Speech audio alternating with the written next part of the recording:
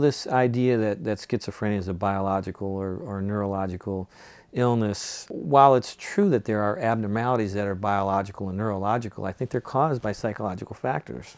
The reason I think that is because when people get engaged in good, effective psychotherapy, those underlying biological and neurological changes or differences resolve.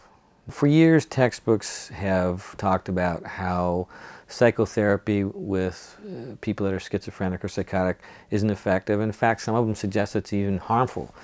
Um, and that's based on the research that they review to write their textbooks. They're not reading all the research.